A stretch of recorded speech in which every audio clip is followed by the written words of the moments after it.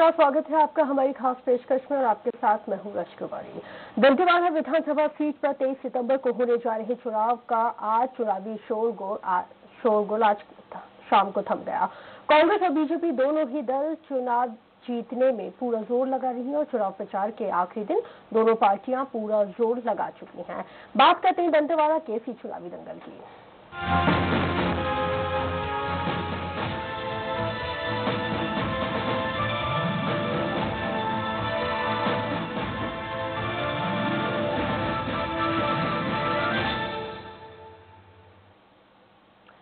तेईस सितंबर को होने वाले दंतेवाड़ा में उपचुनाव का चुनाव प्रचार आज शाम को थम गया। अब प्रत्याशी डोर टू डोर जनसंपर्क कर सकेंगे। दंतेवाड़ा सीट के लिए बीजेपी और कांग्रेस ने प्रचार अभियान में अपनी पूरी ताकत झोंक दी है। वहीं छत्तीसगढ़ के मुख्य निर्वाचन पदाधिकारी सुब्रत साहू का कहना है कि उपचुनाव के लिए पूरी व्यवस्था कर ली गई है। सुरक्षा के तमाम माकूल इंतज़ाम किए जा चुके हैं और शांतिपूर्ण तरीके से चुनाव यहाँ पे संपन्न होंगे।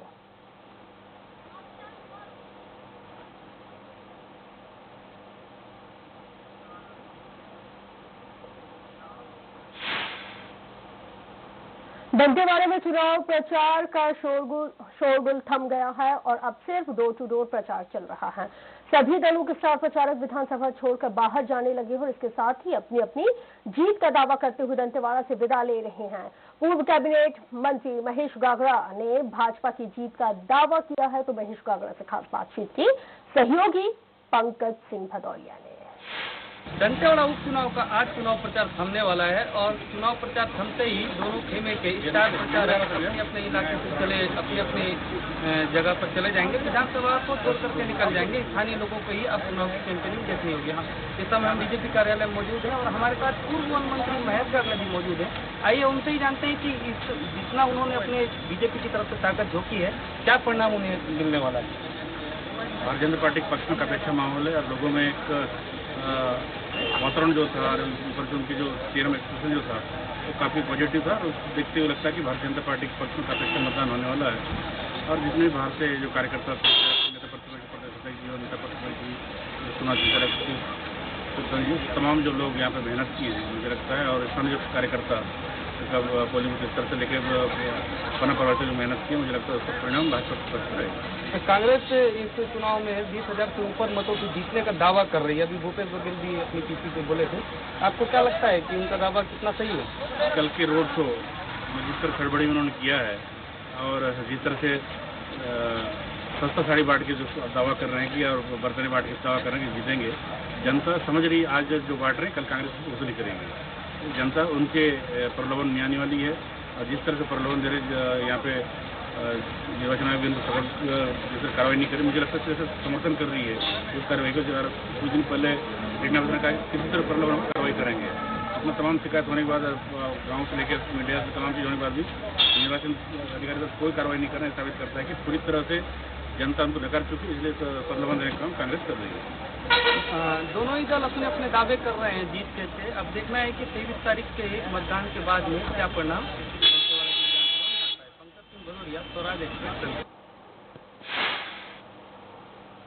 छत्तीसगढ़ के चित्रकोट विधानसभा सीट के लिए उपचुनाव की तारीखों का ऐलान कर दिया गया, जहाँ चित्रकोट में 21 अक्टूबर को मतदान होगा तो वहीं इसके नतीजे 24 अक्टूबर को जारी किए जाएँगे। चुनाव की तारीखों के ऐलान होने के बाद मुख्य निर्वाचन पदाधिकारी सुब्रत साहू ने निर्वाचन आयोग की तैयारियों के बारे में भी जानकारी दी।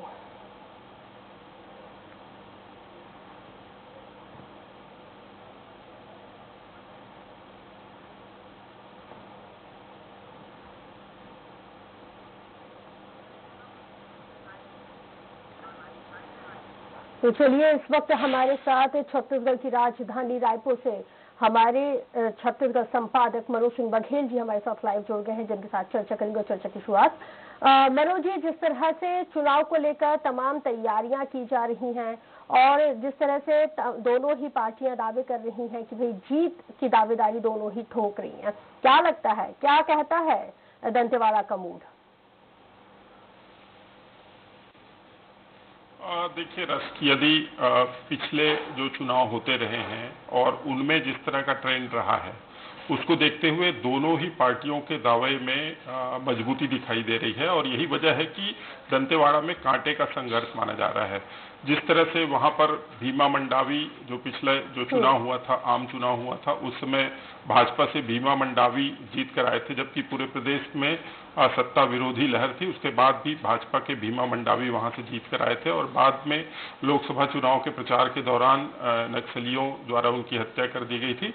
तो एक जिस तरह की परंपरा रही है कि जब किसी विधायक की हत्या होती है और उसके बाद उपचुनाव होते हैं तो एक सहानुभूति जो है वोट मिलते हैं। ये ज़्यादातर मामलों में हुआ है कि इस तरह के प्रत्याशी जो भी होते हैं इसीलिए सहानुभूति वोट पाने के लिए उस परिवार के ही किसी सदस्य को हम्म। उम्मीदवार बनाया जाता है। तो भाजपा ने भी वही किया है। जो भीमा मंडावी है उनकी पत्नी पत्नी ओजस्वी मंडावी को वहाँ से उम्मीदवार बनाया गया है और भाजपा को उम्मीद है कि वहाँ से सहानुभूति वोट जो आम लोगों का है वो उनके फेवर में जाएगा और इस आधार पर वो जीत के दावे कर रही है। वहीं दूसरी ओर ये भी देखा गया है कि सत्ता पक्ष जो होता है हम्म। उपचुनाव में उसको लाभ मिलता है। हमेशा से ये ट्रेंड रहा है और सभी को ये लगता है कि चूँकि अभी सरकार जो है कांग्रेस की है और इसलिए हम यदि उसी पार्टी का विधायक चुनेंगे तो उनकी बातें सरकार में ज़्यादा सुनी जाएगी और स्थानीय जो समस्याएँ हैं उनका आसानी से निदान हो सकेगा। तो ये एक बड़ा वजह है जिसके कारण कांग्रेस को लगता है कि उसके जो प्रत्याशी हैं जो पिछले चुनाव में हार गई थी देवती कर्मा हाँ। उनको फिर से मौका दिया गया है और एक चीज़ उनके भी फेवर में है कि उनके पति महेंद्र कर्मा जो बस्तर टाइगर कहलाते थे उनकी भी नक्सलियों ने हत्या की थी। हालाँकि ये घटना करीब करीब छह साल पहले ये घटना हुई थी छह से साढ़े छह साल पहले। तो उसका फ़ायदा पहले तो मिला था पिछले बार वो विधायक रही थी लेकिन जब दूसरी बार चुनाव हुआ तो वो हार गई थी। तो ये तमाम बातें हैं जिसके आधार पर दोनों पक्ष जो है वो बेहद आसान्वित है और दोनों ही पक्ष जीत के दावे कर रहे हैं। निश्चित तौर पर कांटे का मुकाबला है। आज तीन बजे के बाद चुनाव प्रचार थम गया है और दोनों ही पार्टी के जो उम्मीदवार हैं वो अब घर घर जाकर व्यक्तिगत संपर्क कर रहे हैं और लोगों से अपने अपने पक्ष में समर्थन मांग रहे हैं। अब जो है तेईस तारीख को मतदान होना है। चूँकि दंतेवाड़ा जो है वो घोर नक्सल प्रभावित क्षेत्र है यही वजह है कि चुनाव आयोग ने जो मतदान का समय तय किया है वो हम्म। सुबह सात बजे से लेकर दोपहर तीन बजे तक मतदान होगा। और यही वजह है कि आज 48 घंटे पहले जो है चुनाव प्रचार पर रोक लगा दी जाती है। यही वजह है कि तीन बजे का समय देखते हुए आज दोपहर तीन बजे से चुनाव प्रचार वहाँ पर थम गया है। चुनाव आयोग की तैयारियों की बात करें काफ़ी जी बिल्कुल। मनोज जी, सवाल मेरा ये भी था कि इस पूरे हमने चुनावी प्रचार प्रसार के दौरान हमने दोनों ही दलों की तरफ़ से जमकर आरोप प्रत्यारोप की राजनीति भी देखी। तो इसी बीच मंतूराम पवार की एक प्रेस कॉन्फ्रेंस भी होती है। तमाम आरोप वो भारतीय जनता पार्टी पे और शीर्ष नेतृत्व पर भी लगाते हैं और फिर दमन की एक दमन का भी आरोप लगाते हैं। फिर सम्मान कहते हैं कि कांग्रेस पार्टी ने सम्मान दिया, लेकिन जो भाजपा ने किया है, उसको बर्दाश्त नहीं किया जाएगा। इन तमाम चीज़ों का असर क्या दंतेवाड़ा उपचुनाव में देखने को मिलेगा? क्या वोटर इन्फ्लुएंस होगा हाँ देखिए संभावना बिल्कुल इस बारे में ज़ाहिर की जा रही खासतौर पे दो मामले जैसा कि एक मंतूराम वाले मामले का आपने ज़िक्र किया कि अंतागढ़ में जिस तरह से उन्होंने चुनाव के ठीक पहले अपना नाम वापस ले लिया था कांग्रेसी प्रत्याशी के रूप में और उस समय कई तरह की चर्चाएँ चल रही थी कि इसमें जमकर पैसे का लेन देन हुआ है सात हाँ। करोड़ रुपए में मंतूराम को खरीदा गया इस तरह की बातें थी और हालाँकि उस समय तक मंतूराम बिल्कुल अड़े थे कि किसी तरह की कोई सौदेबाजी नहीं हुई है और जो है अपने कांग्रेस की अंदरूनी रा, राजनीति के चलते उससे दुखी होकर उन्होंने जो है अपने आप को विड्रा करना बताया था। लेकिन चुनाव के पास आते ही एक नाटकीय घटनाक्रम के तहत उन्होंने जो है ये आरोप लगा दिया कि अजीत जोगी ने मीडिएटर की भूमिका निभाई थी और डॉक्टर रमन सिंह ने उनको खरीदा था और इसमें तमाम लोग शामिल थे। तो इस इस बयान के बाद ये माना जा रहा था कि इसका फ़ायदा जो है वो कांग्रेस को मिलेगा और इस घटना से भाजपा बदनाम होगी। इसी तरह का एक मामला जो है नान मामले को लेकर भी काफ़ी राजनीतिक गहमा गहमी दोनों पार्टियाँ इसको अपने अपने फेवर में फ़ायदा उठाने की कोशिश करती रही हैं।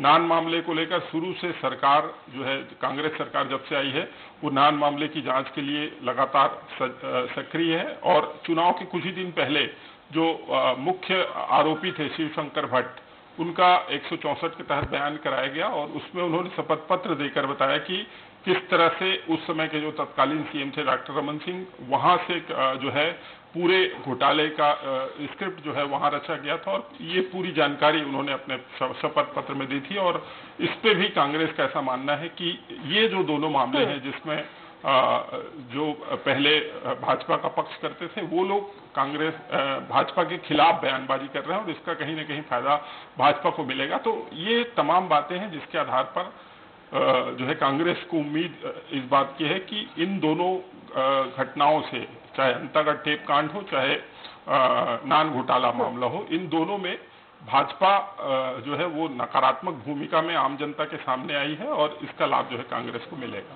जी, बहुत शुक्रिया मनोज जी चर्चा में शामिल होने के लिए इतनी महत्वपूर्ण जानकारी साझा करने के लिए।